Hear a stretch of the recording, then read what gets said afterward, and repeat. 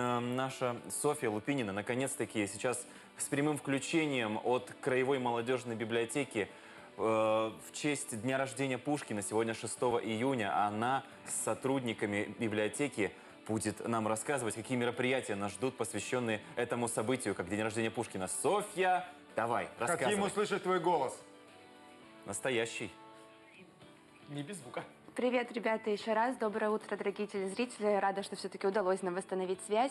Сегодня отмечается, я думаю, можно назвать уже национальный праздник для всей России, день рождения Александра Сергеевича Пушкина и по совместительству День русского языка. Настолько важен этот поэт нашей истории. Сегодня с Лилией Никитиной, молодой очаровательной библиотекарем э, Краевой молодежной библиотеки, мы встретились этим утром, чтобы рассказать о том, какое мероприятие пройдет в честь этого праздника. Доброе утро.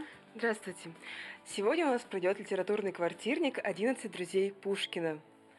А у нас на литературном квартирнике мы будем читать стихи, окунемся в эту атмосферу, будет играть классическая музыка, и совместно с нашим партнером, Центром а, а, проектирования здорового образа жизни Вестой, пройдет конкурс чтецов «Пушкин сегодня».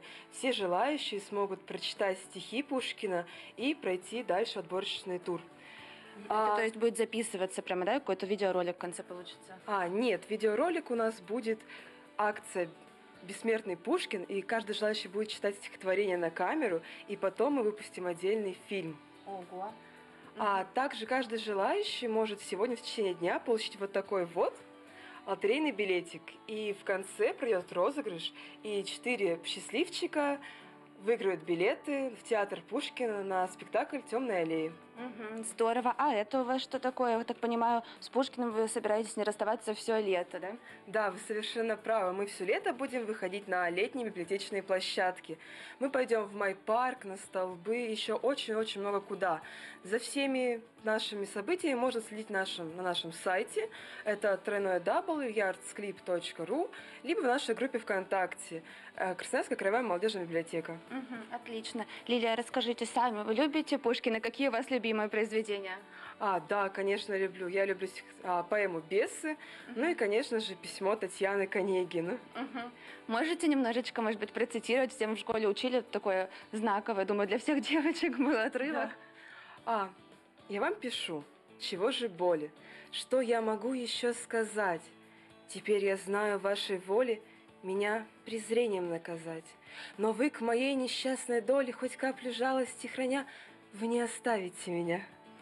Отлично, спасибо большое. Еще больше произведений великого Александра Сергеевича Пушкина вы можете услышать сегодня в 19.00 здесь, в Краевой молодежной библиотеке. А сейчас я передаю слово Роману Пастушку. Он познакомит вас э, с другими свежими новостями. Рома, скажи, что ты помнишь из Пушкина?